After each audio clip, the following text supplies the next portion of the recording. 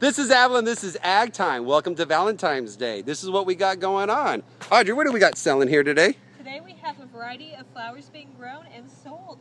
We have roses, carnations, daisies, and many others. The student made them into bunches and added cute Valentine messages for your sweetheart.